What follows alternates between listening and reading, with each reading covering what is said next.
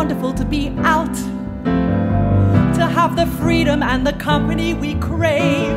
It's truly wonderful to be out and about again. So I hope that you'll be generous and forgive me when I do something unbecoming every now and then, because I think that I've forgotten how to behave.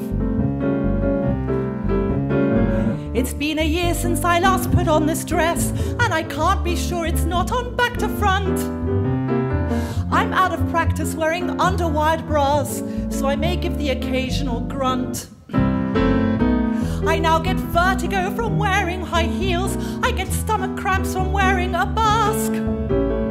I'm used to slobbing around in tracky bums, and my facial regime's putting on a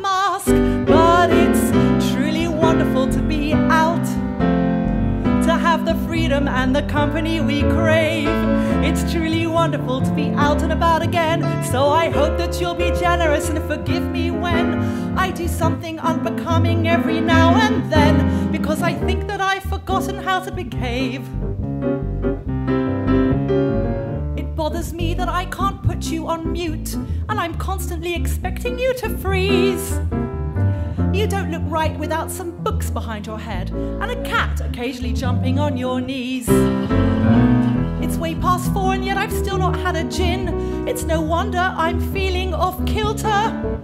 And please forgive the standard of my makeup. I forgot I simply couldn't use a filter. It's truly wonderful to be freedom and the company we crave. It's truly wonderful to be out and about again. So I hope that you'll be generous and forgive me when I do something unbecoming every now and then, because I think that I've forgotten how to behave. I know my flirting skills are rusty as hell. I had to practice on the man from DPD. And I've got lockdown hair, and I mean everywhere. I've lost all sense of dignity. But if we've both been vaccinated, then hey, I'm prepared to risk us sharing a cab. I don't care if it's Pfizer or Moderna, but I really, really want another jab. Oh, I can burst your bubble, it'd be no trouble. Please just tell me when. And forgive my social blunders, but it's really, truly wonderful